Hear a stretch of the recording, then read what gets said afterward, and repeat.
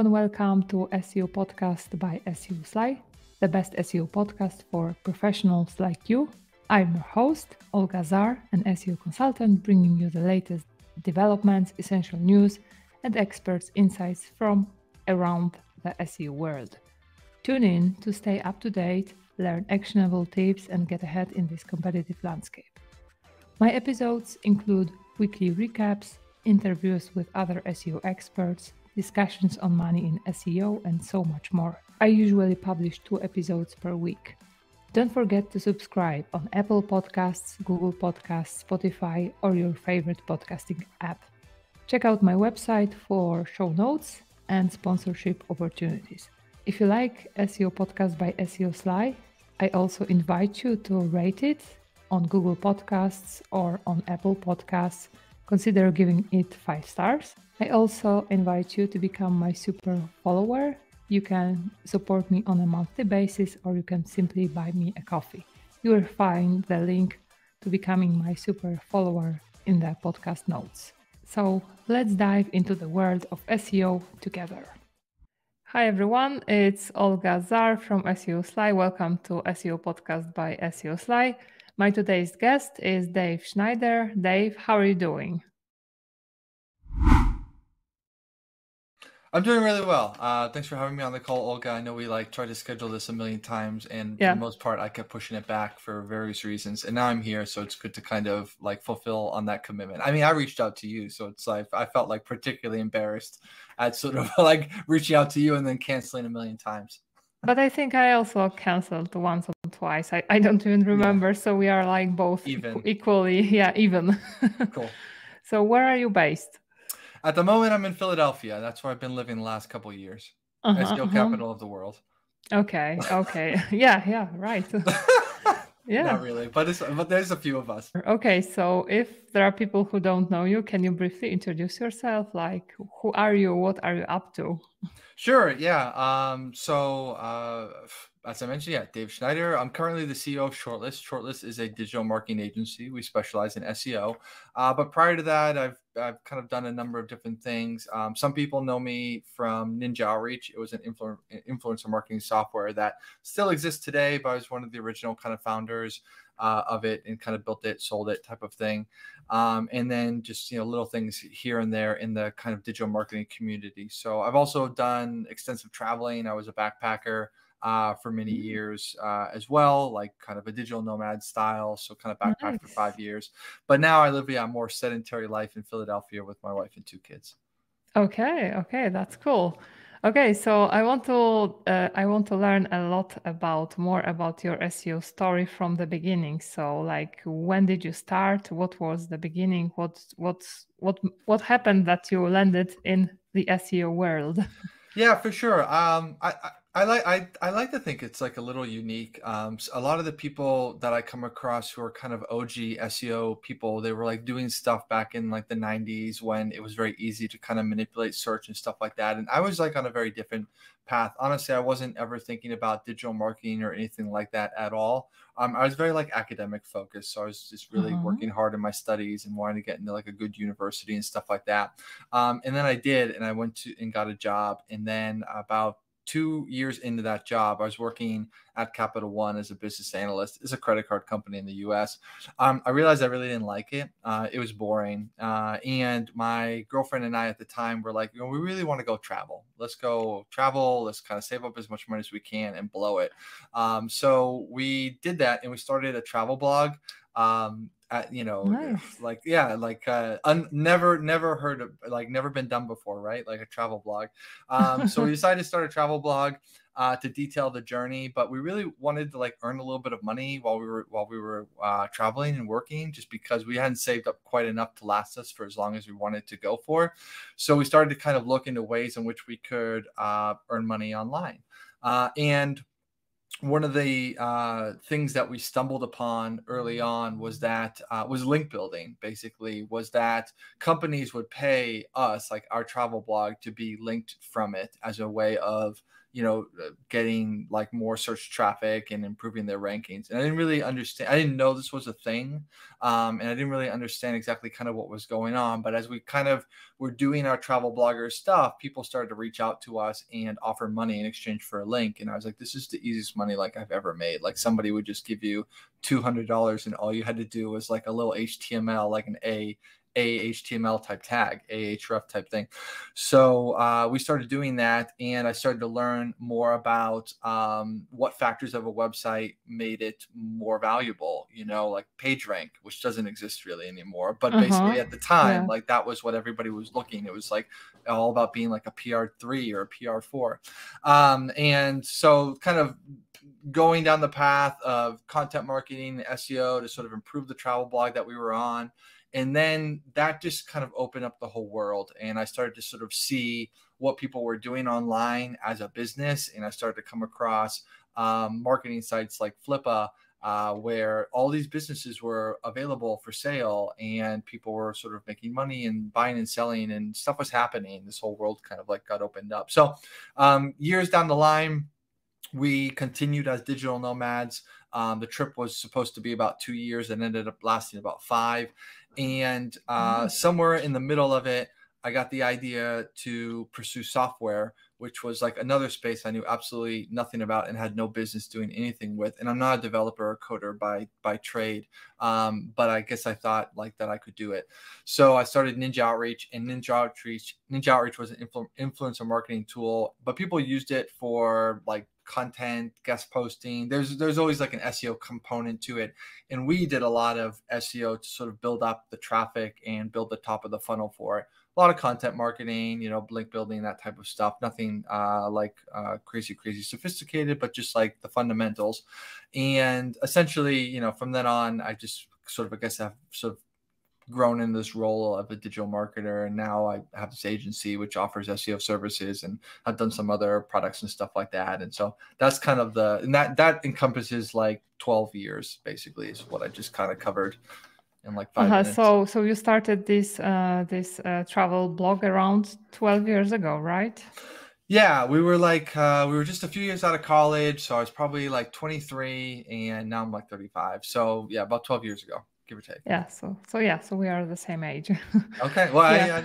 I, I, you look better than I do. Thanks. That's okay. Okay. So. Yeah, so it looked like we started around the same time because, like, around the same time, I was also creating blogs, blogs, blogs, and all I did basically was uh, Google AdSense and selling links because I was getting a ton of a ton of requests for for links similar like you. But can you tell me more about this blog? How how it grew? How many pages it it had? Like what was the traffic? Does it still exist? I'm very curious. Yeah, that was the thing that was always like so weird. It was always so shocking to everybody I was talking about was that the site never really had that much traffic. I mean, you know, a little bit, maybe at its peak, right? It had something like I don't know, 10 or 15,000 page views a month. Like not really mm-hmm. all that mm-hmm. much. You know, I mean like more than just like a real basic blog that nobody's ever promoted, but by no means like really well trafficked. But like at its peak of income, the blog itself was able to earn, you know, 10, 20 grand a month, mainly just oh, like selling nice. links and stuff like that.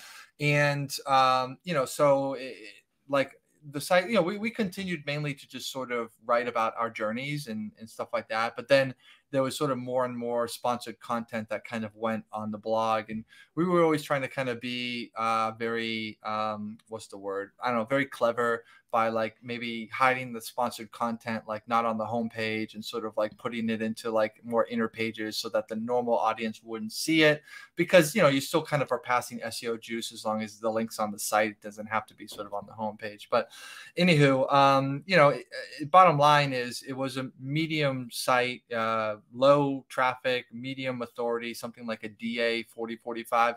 But travel, uh, the travel niche in particular usually commanded like pretty high rates like in just mm-hmm. in terms mm-hmm. of what people would spend on link building like it depended obviously on the company i mean there's always a wide range but there were people that would spend you know $300 or more like just for a backlink on a site like that um, i don't think that's the case as much anymore but back then you know for sure and then one of the things that happened um, which i had left out in my original kind of story um, was Expedia uh, got caught for buying links. Um, which you know Expedia, a very well-known company, and essentially they lost a lot of their rankings and traffics, and that like that ripple effect went out through the whole industry and all of a sudden everybody was kind of getting in touch with me and saying hey like can we have our link removed because our client doesn't want to be here anymore and they're worried and it was just harder to get deals and it was like the first time that I had ever kind of seen like a business go up, up, up, and up, and then just drop off a cliff like in a matter of like a couple months. Um, so that was something that always really kind of it left like a strong impression on me, and it was one of the reasons why I started to look into software was because I wanted to to have like a product and like uh, and to have customers, and I had been like concerned about sort of just just that purely selling SEO in that way. Um, but then, of course, we still utilized SEO as part of the way of growing our tool, but um, it wasn't as much of the service that we were selling, if that makes sense. Yeah, sure. But and now coming... I've come like full circle, yeah, and yeah. I like to have an SEO agency where like we also do backlink building. So here, here but in a uh, but I guess uh, in a bit different way now uh, essentially, I'm on the other side of things. Uh, yeah. The, the other side was better, actually. I should have stayed where I was. Easier, not, way yeah, easier. It was a lot easier, yeah, because uh, you were just the provider as as opposed to sort of the client on the. You weren't really uh-huh. client facing. Now you're client facing, and yeah, and coming back back to this site for for just a second, was the site penalized by Penguin, Panda, and those early algorithms that changed so much? It, it the did receive a penalty at some point. And I forget exactly which one it was. You know, one of the early Panda type ones, I think, and it was like for a time removed from the search. Um, uh-huh. It still retained its um, domain authority and things like that because when sites are penalized, they don't lose like that metric. So it was still kind of interesting to a degree. Like clients were still sort of interested in being linked from it, but it couldn't be found in the search but then I think what we did was we went back and we like we sort of undid a lot of the link building that we did, and then we kind of applied for readmission and now now it can't be found and it still exists it's called coupletravelers.com uh-huh. but we don't really actively write on it it's more of like a memorial these days um but yeah uh we did we did eventually get caught like okay others. okay I, need to take a look at this site i'm very mm, yeah very we went curious. to poland there's a yeah there's a whole oh. thing about poland there oh nice nice yeah. So, how many countries did you visit? Uh, I think like 50. Yeah. Oh, give, give yeah. or take. Yeah. We were kind of traveling like a new place every month, you know, for about okay. five years. Yeah. Okay. That's nice. It was cool. It was a really good time. Yeah. Yeah. Yeah. Very nice. Okay. And, um, and regarding your next project, uh, did you like become like a developer? Did you do it yourself or did you hire people to help you? Uh, what was the process? And like, tell me more about this. Yeah, so the next one after that was like a, you know Ninja Outreach, like I mentioned, it's an influencer marketing tool. Still exists to my knowledge, although it has changed hands multiple times, so I can't speak for it uh, as a sort of a representative or ambassador of it. Um, but um, originally, originally I was looking for some sort of building some sort of content SEO style tool. I was just trying to kind of do what I knew. Um, and but I didn't have the developer skills as you kind of mentioned, so I kind of had to find somebody. And um, I sort of you know, I went on a podcast like this and I was talking with the uh, the host and I was like, "Hey, I've got this idea for like this content tool." And he was like, "You know what? I've got that idea as well. And we've already got like a little bit of a prototype. Okay. Like, do you want to come on?" And I've got a developer too.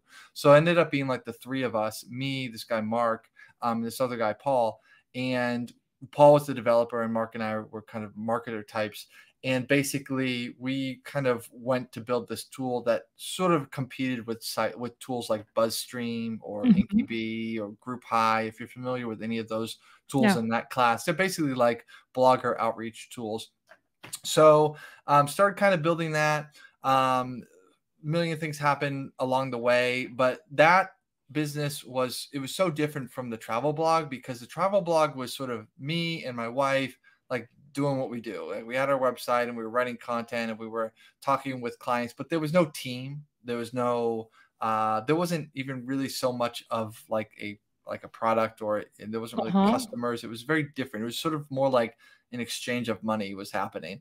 Uh, but with Ninja Outreach, you know, we started to learn about um, outsourcing and building a remote team and what it's like to have people fill certain roles and to interview people for different jobs and to set goals and directions and priorities for the year. And it was a very different style of business um, mm-hmm. that I, you know, really loved.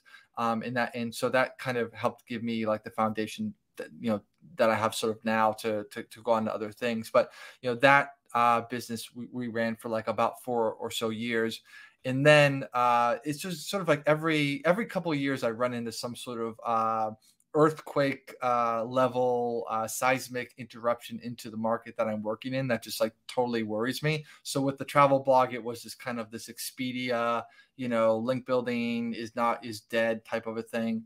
And then with Ninja Outreach, it was um, GDPR.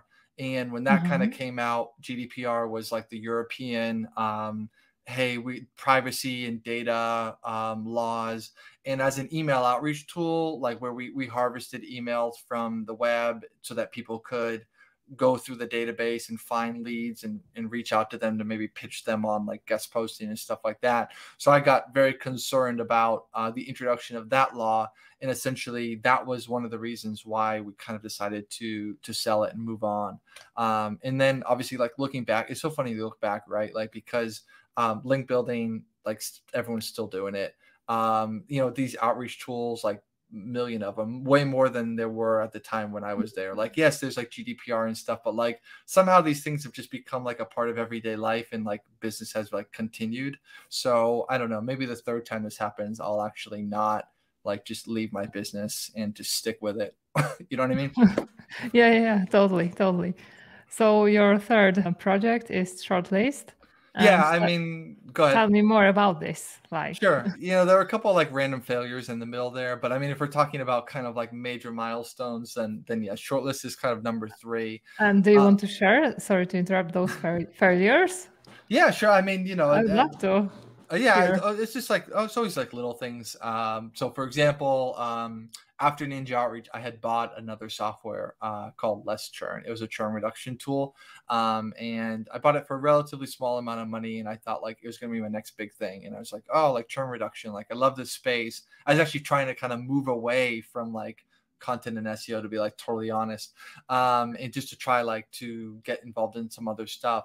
Uh, but that tool just it just just kind of flopped. It was like too niche and it was too complicated to um, kind of integrate into the products, which it had to be done. And you know, basically after some months, like I ended up kind of selling it to Profitwell. Um, they bought it, uh, so that was kind of like a semi semi failure.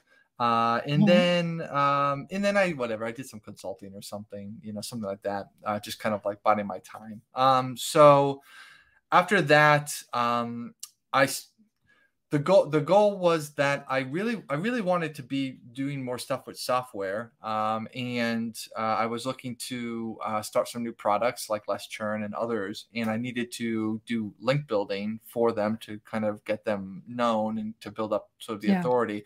So I started to kind of this little it was like not even it's barely like a service but i was kind of said hey i'm gonna do i'm gonna write some articles on uh on people's blogs.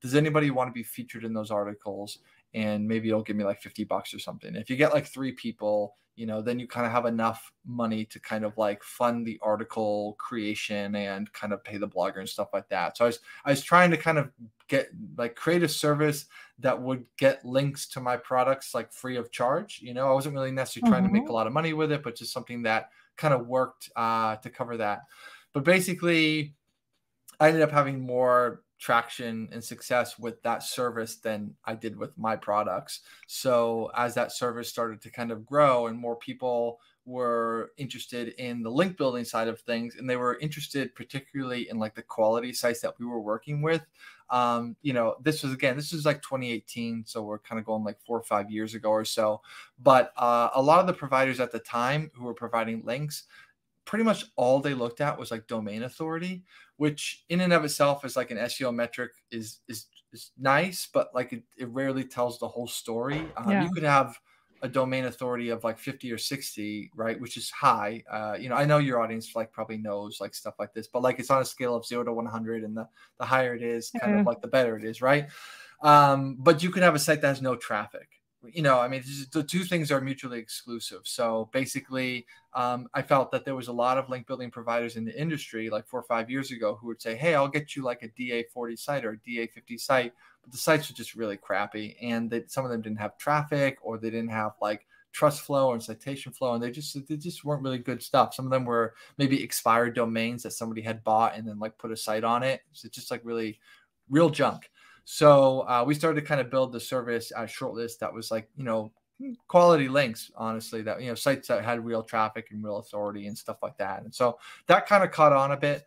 Um, people were interested in that. Um, and, you know, that essentially became Shortlist, the agency. And it was, you know, it was really kind of focused on this kind of productized service of you know you pay us x and we give you y links and we kind of do that every month and then we started to expand into some other services. And i said hey wouldn't it be cool to be like a full service digital marketing agency and to do paid advertising and affiliate marketing and design and dev and all this different stuff?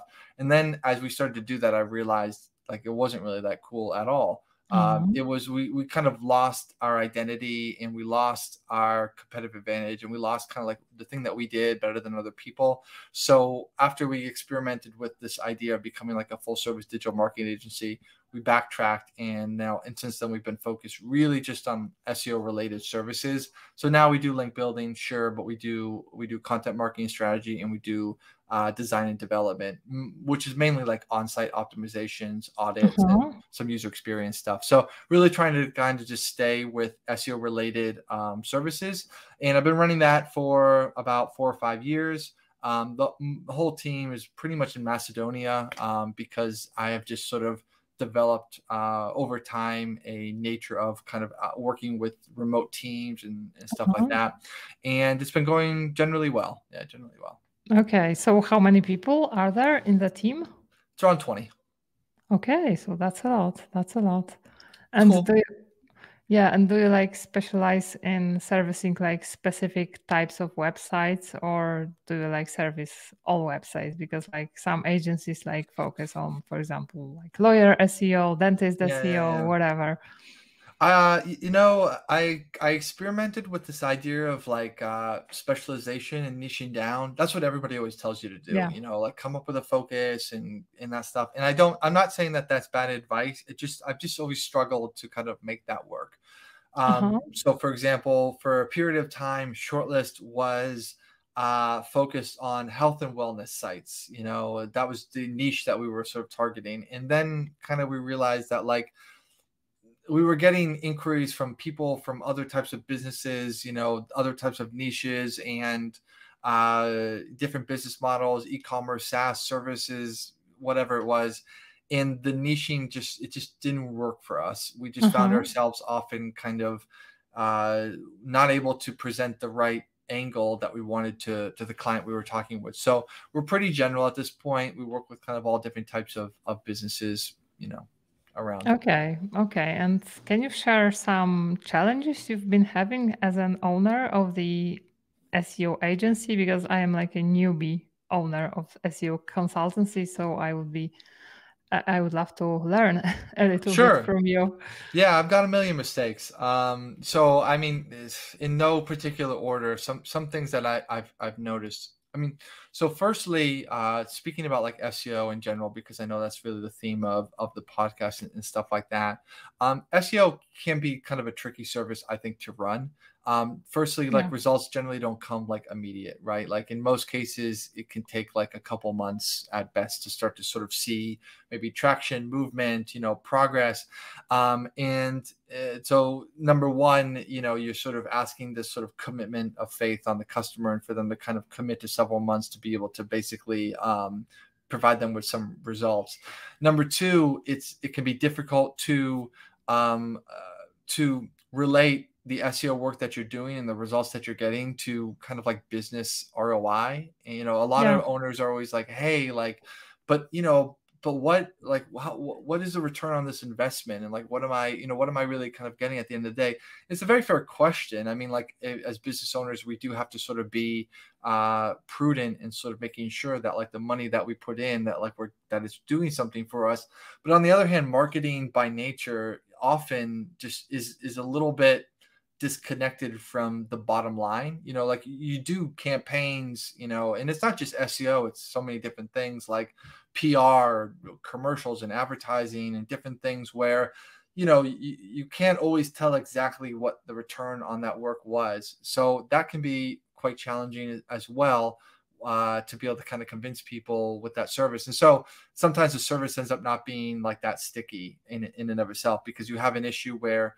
clients are sort of not getting results right away. And then when they do, they're not really sure kind of what they are getting for it. So, you know, one thing that we've been trying to do is to try to bundle some services together. Um, so, for example, um, including maybe some content marketing and strategy, and including uh, maybe yeah some website design and development, like performance optimization, user experience, like different things that I think um, are more likely that if the customer is, is utilizing a few different services at once, they generally are kind of more sticky and kind of more connected. Um, easier said than done, but that's that's yeah. kind of what one thing uh, uh, that that's kind of out there.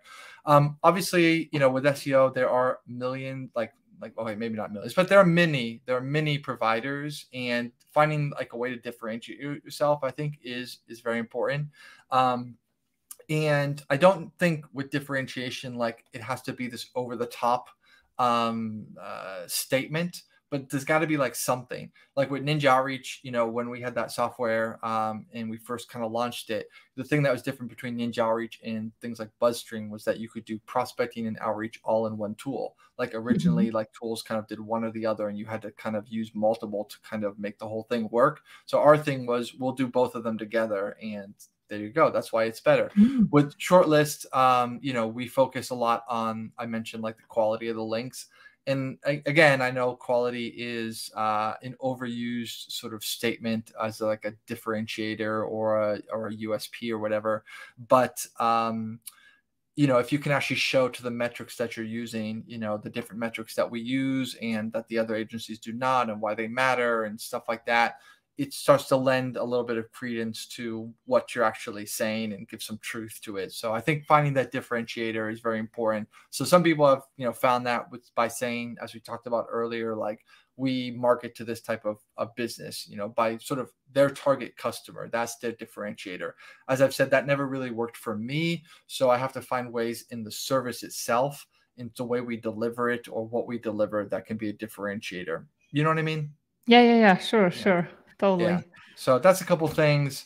Um, and then, like I said, offering too many services at once uh, was definitely a, a negative for us. Uh, it just was kind of too much to handle, and basically, uh, you know, uh, basically, yeah, it just didn't really work work out that well.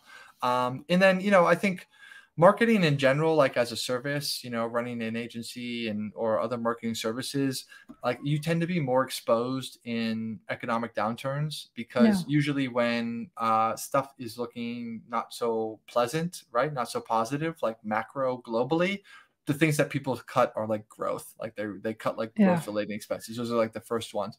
So that is just kind of and, and i'm seeing that now. Like i'm seeing that now in like today's environment. I i feel like there's just more apprehension about spending money and committing the growth. We've had probably more cancellations than we usually have. A lot of times, the calls that I have with clients, like the sales cycles are longer. So I was just like giving this example the other mm-hmm. day, but like I had a couple calls with two different people. One was like a chief revenue officer, and the other was like a VP of digital marketing. No, these are you know relatively like high level positions. So normally on a call like that, like that person would have the authority to like sign off on a contract mm-hmm. and say, yeah, we're going to work with you.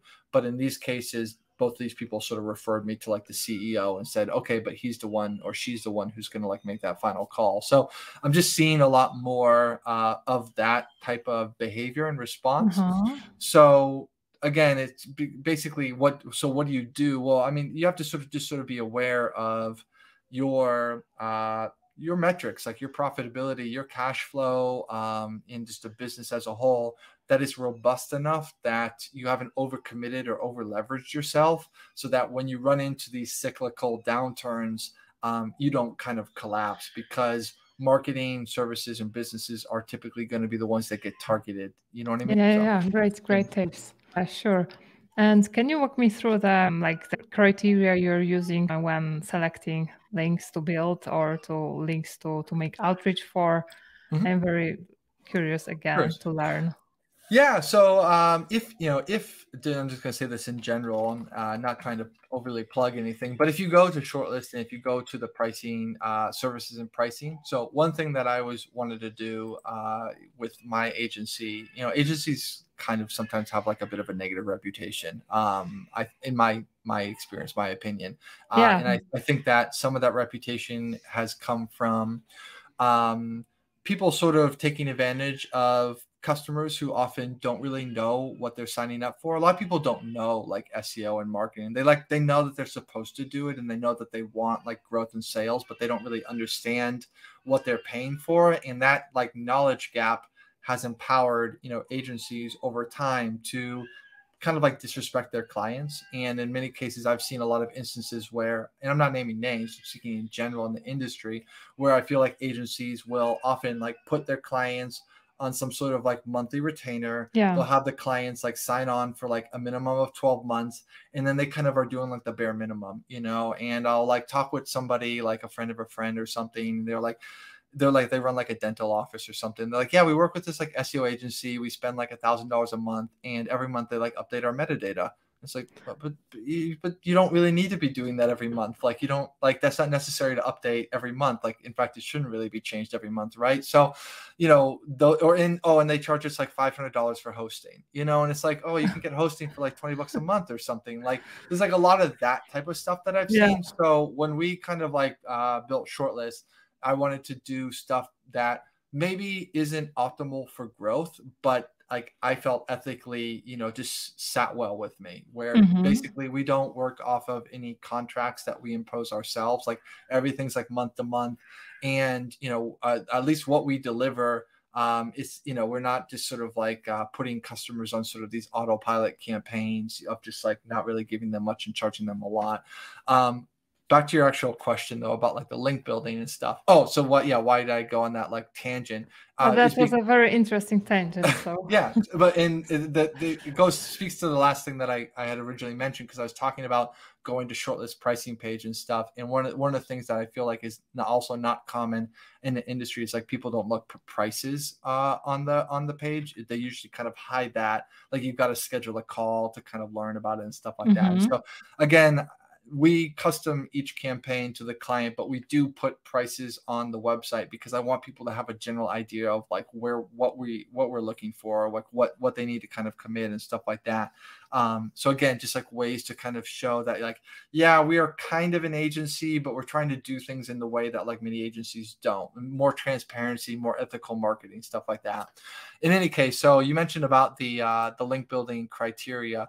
And I was saying that if you go to uh, shortlist.io and you go to the link building uh, in the services section, there's a pricing page, and there on hover of the different links, we have mm-hmm. a couple different tiers of links. It will showcase a few of the metrics that we are incorporating to um, determine uh, what websites we work with.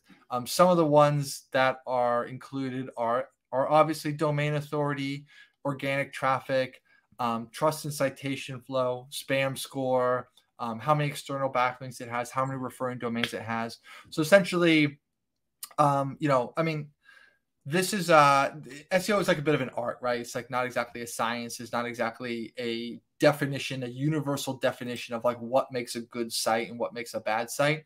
But you know, I wanted to kind of go into what I thought were kind of like the leading tools in the space, like Moz, Majestic, Ahrefs, and say kind of what are some of the metrics that they have that I think are kind of like unique to them that qualify like a good site. And then we sort of, you know, took from from all of those. So website has to kind of pass like all of the standards from all those mm-hmm. different tools. And again, it's it's not it's not to our benefit to do that because we end up excluding a lot of sites that we could otherwise work with and that a lot of other agencies do work with. And that makes our costs generally higher as an agency because we have less optionality in terms of who we work with. But again, like I said, I said to myself, like as much as I can be, like I want to try to do this in a way that I feel comfortable about the service that we offer because it is one of those things that like sometimes you know you work with a client and it just doesn't work. Like you know, not it's, yeah. it's not it's not always successful. Um, you know, generally we've had like good results, but sometimes you know you've got a client and they pay you money and then like a couple months later like it just hasn't worked out for them. And so i just you know and it sucks. Like i mean you don't want to you know we all we all want to like do good results for the clients so i just kind of wanted to try to build the service in a way that i felt um, was you know relatively guilt free that if things didn't kind of work out i knew that at least we had tried to kind of give them the best that, that we could do like within the business model. You know what i mean? Yeah yeah that's great. Yeah sure. Okay so can you tell me like in your in your job right now what's your what's the favorite part or what's the favorite part of seo which you enjoy the most? The favorite part of seo what i what i what i do like is that as an industry it is uh, evolving and changing like relatively rapidly. Um, and th- that's kind of a for better or for worse type of thing because it does yeah. force you to sort of always be like up to date. And i'll be honest like i am not always up to date personally on every um, Google algorithm change and every update and stuff like that. Um, less so now because now I, am a bit more like in the business owner seat, and I, I can't necessarily be the best SEO, um, you know, all the time. I, you know, mm-hmm. maybe I, I, used to know more about those things, but you definitely have to kind of keep up to date on trends and stuff like that. And so, like lately, a huge trend is was like AI and you know and uh, we i know we talked before the recording you're like oh ChatGPT and i was like oh i'll find a way to mention it and this is that's it's totally natural actually it's just honestly just generally true uh, but that there's just a lot of tools and software that have come out leveraging uh, chat gpt and other other software, you know, leveraging that API, you know, the Jaspers of the world and stuff like that, that are basically creating content, they're creating copy, um, and they're doing all those things. And that's a core part of our business, right? Like we do a lot of guest blogging for link building, we do content marketing and strategy and stuff like that. So, you know, it's it's nice to be forced to be aware of the stuff that's kind of going on because uh, if not like you're going to get passed by and someone else is going to yeah. kind of you know uh, take take your stuff from you you know you, you, sort of have to always be sort of up to date so i think that that is a nice um, you know effect of of being in the SEO industry that you know you're not I, I don't want to say you're on the forefront of technology but like you're generally uh, in the early adopter area with like yeah, yeah, stuff yeah you know totally totally true so tell me now what does your normal day look like uh, it varies. I kind of try to fill the role that's like needed on the day. So just uh-huh. try to kind of see where I'm the most helpful. Um, so that could be uh, working on proposals for clients um, or maybe doing client a, a, client call. I do more I'm, I'm, more on the sales and the biz dev side. Mm-hmm. i t- tried to move away from excuse me like individual campaign management and stuff like that um, and just generally like just looking in the business and trying to see how it can run better and how the processes can be improved and how we can communicate better and how it can make it more enjoyable like for the people that work there and for our clients and just improve the experience. So you know i just kind of just trying to look for ways to improve things uh, on, on, the regular, like whatever that is. So, uh, for example, um, you know, recently, like for the last couple months, uh, we had an employee. It's the first time this has ever happened, but like uh, she got pregnant and she gave birth, um, mm-hmm. and so she took like a leave, you know, for a couple months, like three months or so. Uh, and this was one of those things like Shortlist didn't have like a uh-huh. uh, a policy for you know a maternity policy. So we had to kind of come up with one that we thought kind of worked. Just probably not the best, but it's not the worst, you know. But I, we did what we could.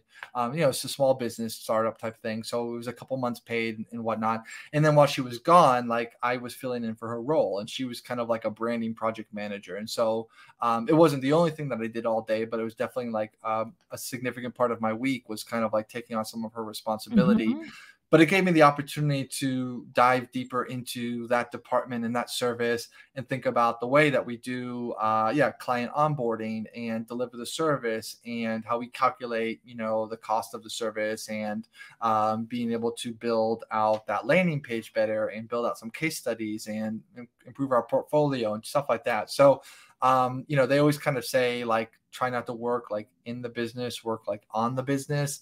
Um, but sometimes I think once in a while it is good to get in the business, but just to make sure you don't stay in one part for too long, that you in the business in a particular role and then you uh-huh. kind of get out and then you join somewhere else. So I kind of, yeah, I kind of hop around.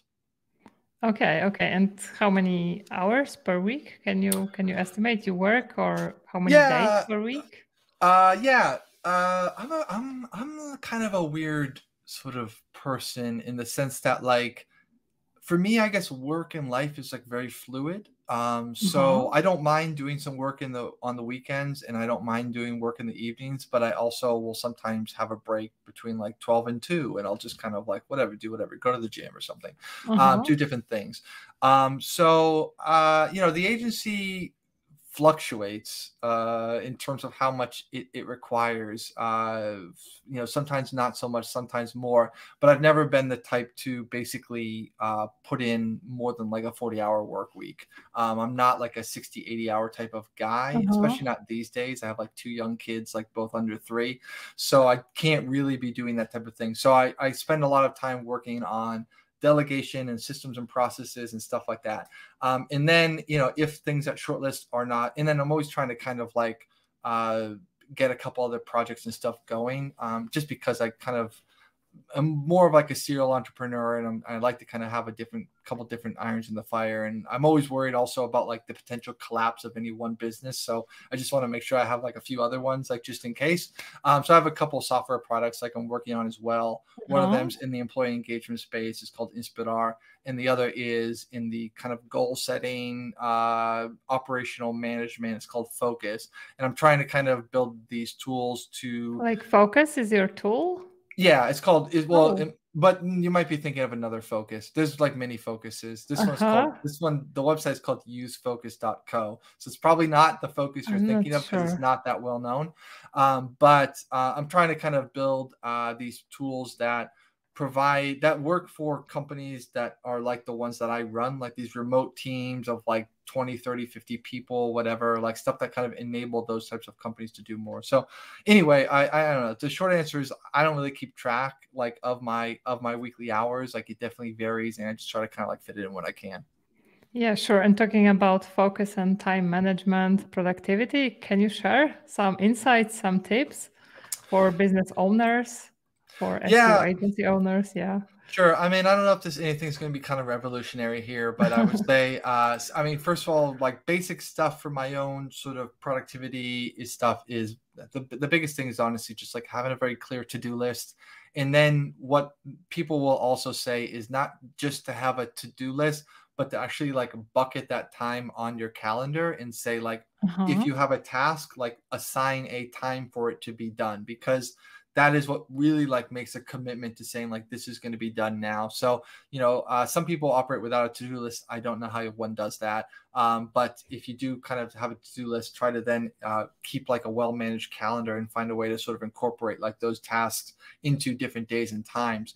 But then you know honestly at the end of the day like a lot of it does come down to like delegate delegation you know and like building like a good team and people that you kind of count on because like no matter how efficient and productive you are there's just no like like substitute for another human being doing the work. Like there's just there's just no nothing beats it you know uh, yeah. and, and and when you incorporate like outsourcing and the relative you know the relative differences in cost of living and stuff like that um, it's like a no it's kind of a no-brainer um, of course you know there's there's there's a, a, a a tier that you have to get to where you kind of have enough maybe funds to be able to hire somebody because even somebody from Eastern Europe or Asia or whatever, like they don't work for free, like they still need to be paid. And that could be like a thousand dollars a month or more or whatever it is but which you know can be a lot for for many people so it's not to say that like uh, everybody should just do it um, but it's definitely once you get to a point where you've got things kind of running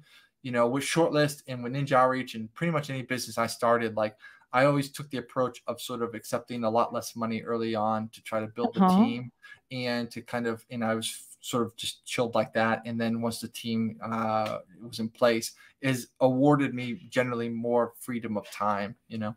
So time okay. money. Okay. Okay. Great. So Any final tips or things to avoid for for again for SEO agency owners? Yeah, I mean, I mean, uh, hopefully everyone is kind of, uh, you know, do, doing doing well out there. I know it's like yeah, I, I would say personally, uh, not the easiest time to maybe be an agency owner. Yeah. Um, and I yeah, I think it's you know it's good to kind of be honest because sometimes you get on these podcasts or whatever, and it's like everyone's talking about how great they're doing and stuff. And and you know I think uh, I honestly think we'll have like a down year. You know, like I don't think that we will do as well as we did last year, but you know, when you've been in business for a number of years, like you, you, get used to kind of more ups and downs, and like that that's kind of the nature of things. But sometimes a lot more uh, opportunities uh, come out of, of down years than than up years. You know, there's a lot uh-huh. of things that we were doing last year that honestly, like maybe we're not that smart or that optimal, but it was just so much easier to like maybe get clients and stuff like that that you almost didn't notice it. And now that you know things are harder, that it's harder to get clients and stuff like that, I'm starting to relook at our proposals and the story that we're telling to the clients and the vision we're presenting and i'm seeing like so many opportunities um, that i'm thinking man if i can't believe that we did we did all last year and we were doing it like this we should have been doing it like that. So all those learnings i think are really good. So hopefully you know if we kind of continue to improve ourselves even during a down year then when we do have the wind at our backs you know which eventually happens you'll you'll kind of soar even more. So yeah, yeah. i would just say you know just kind of stick with it yeah, awesome. Uh, is there someone you want to give a shout out to?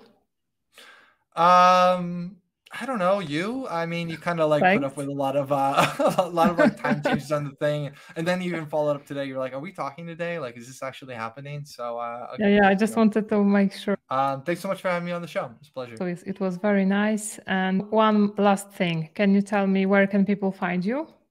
Sure. Um, anyone can shoot me an email. It's dave at shortlist.io. I'm not that big into social media, to be honest. So, uh-huh. you know, I'm on LinkedIn, but like I don't check it that often. Okay. So email's okay. the best. Okay. Okay. Awesome. So thank you. Thank you so much. Cheers. Thanks, everyone, and see you in the next episode. Bye bye.